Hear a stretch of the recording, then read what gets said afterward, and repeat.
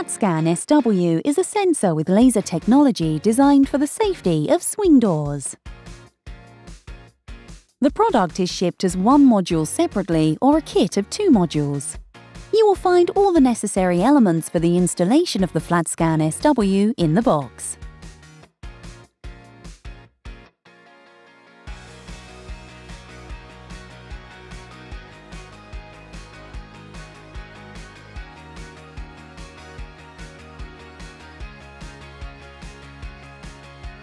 Take a FlatScan SW module and slide the base off it.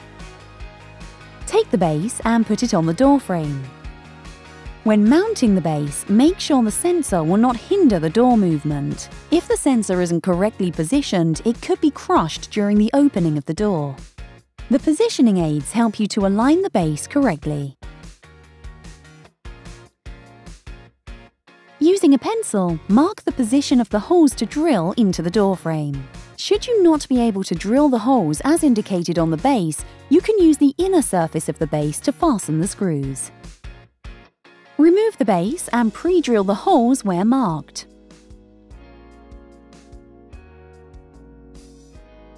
Using a wire cutter, remove the positioning aids from the base.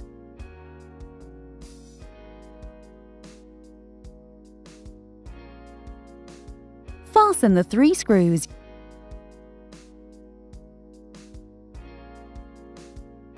Repeat the process on each door wing.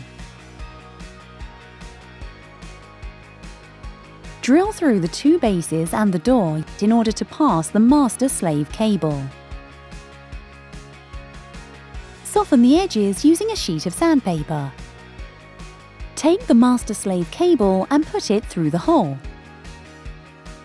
Position the cable in the notch of the base and make sure it is firmly fixed. Take the sensor and remove the cover. Put your finger in the hole and pull firmly towards you in one go. The sensor's cover will come loose. On the door, pass the cable through the hole on the back of the sensor and connect it to the black connector. Make sure that all wires are safely tucked within the notch to avoid crushing them with the cover. Close the sensor, which will not be connected to the door controller, using a plug. Fasten the lock screw firmly in order to avoid vibrations during the door movement.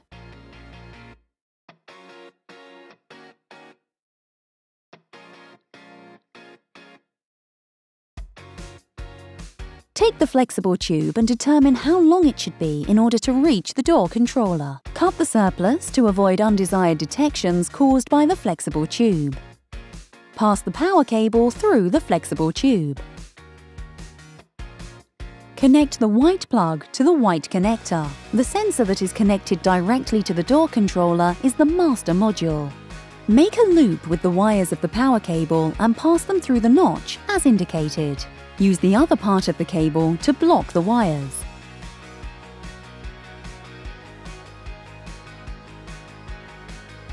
Take the clamp to fix the flexible tube to the sensor. Fasten the two screws firmly in order to avoid pulling out the cable.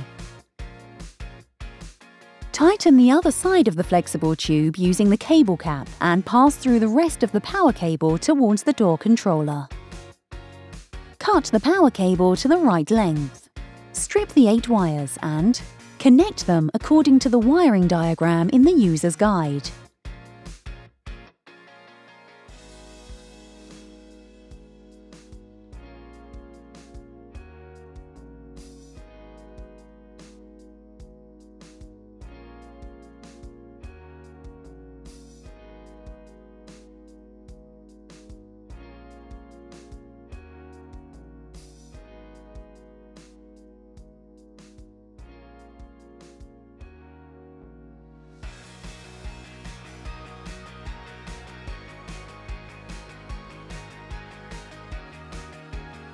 Make sure the setting of dip switch 1 is correct on all modules according to the door side.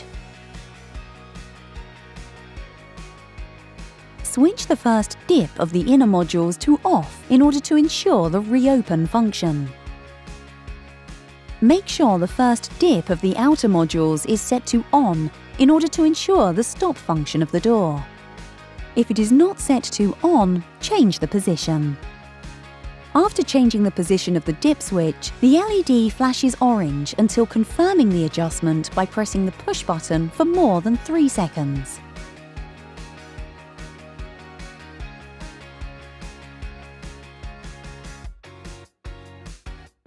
Before launching a teach-in, activate the service mode on the master module. Be aware that during the service mode, the safety of the door is deactivated.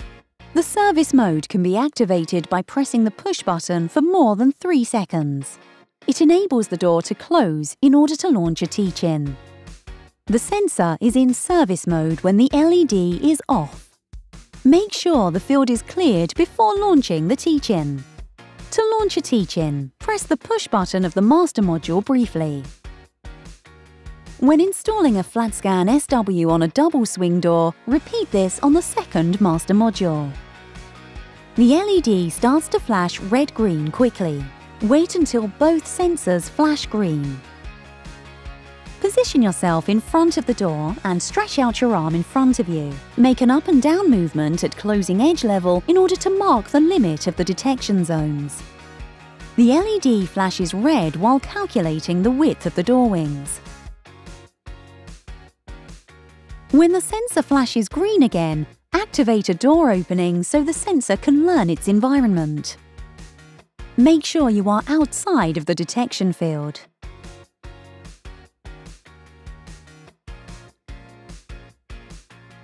During the closing of the door, the sensor flashes red.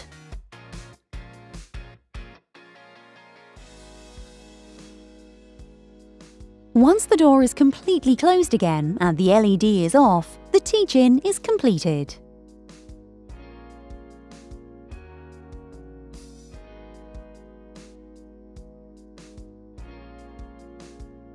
Check the correct positioning of the safety fields by placing an object in the detection field. If necessary, adjust the tilt angle of the sensor by turning the angle adjustment screw. By turning the screw clockwise, you move the curtain closer to the door. By turning it counterclockwise, you move the curtain away from the door. You can adjust the angle from 2 degrees to 10 degrees maximum. After changing the angle, always launch a new teach-in and test the correct positioning of the detection fields.